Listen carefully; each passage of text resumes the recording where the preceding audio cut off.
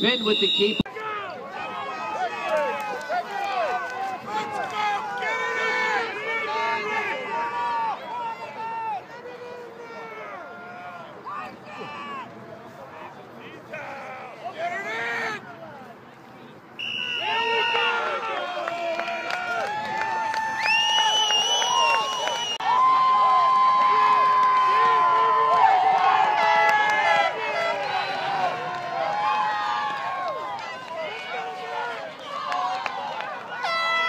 And that's the end of the game.